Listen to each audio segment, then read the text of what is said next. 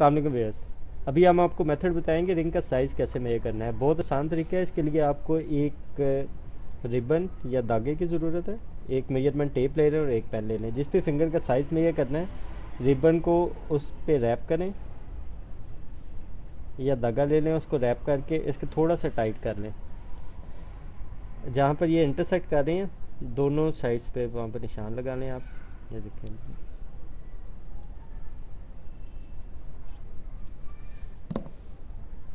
निशान लगाने के बाद ये मेज़रमेंट टेप से आप मिलीमीटर वाली साइड से इसको मेजर कर रहे हैं, ये कितना बनता है?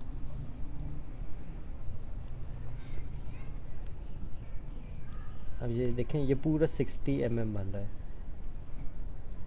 अगर आप साइज़ चार्ट में देखें तो 60 एम mm पे नाइन नंबर साइज़ बनता है और ये नाइन नंबर है साइज़ देखें, ये बिल्कुल परफेक्ट साइज़ आ गया।